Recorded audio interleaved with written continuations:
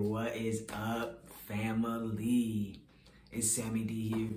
Uh, I just wanted to take a second and talk about why I started making music.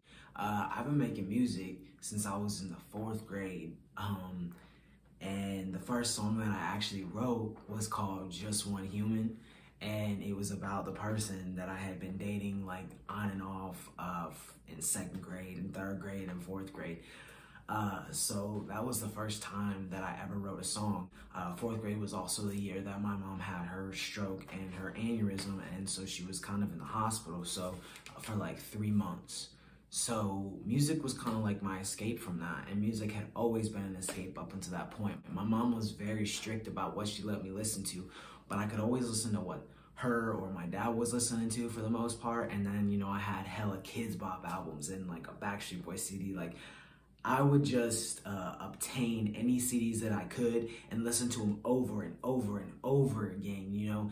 And so that's when I started making music was in the fourth grade. And from that point on, you know, my little sister, she would, uh, she lived across the hall from. Some places we shared a room and I'd always just take my guitar and just like strum a couple chords that weren't actually even chords. You know, it could be my acoustic, it could be my bass guitar. Uh, at the time. I'd be like, Marissa, Marissa, you gotta check this song out. You gotta check this song out. And like, she'd never be like, no, I don't want to hear your song. She would never tell me no. She was always down to hear it. She was always so encouraging, even though like I would just be strumming the same note over and over. And I don't know if she genuinely appreciated my lyricism or she was just being a good sister. But I mean, she had to hear so many songs that I don't even remember them anymore, but they got me to this point. Um, so I wrote through high school, I wrote out of high school. I put out my first video in, let's probably like 2000 and maybe 13, 14. 16 years. So now you're at a point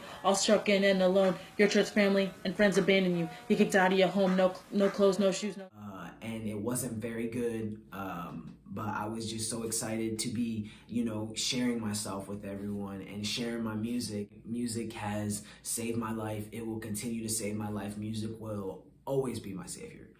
I love music. I am music. And yeah, that's it. Uh, my name is Sammy D.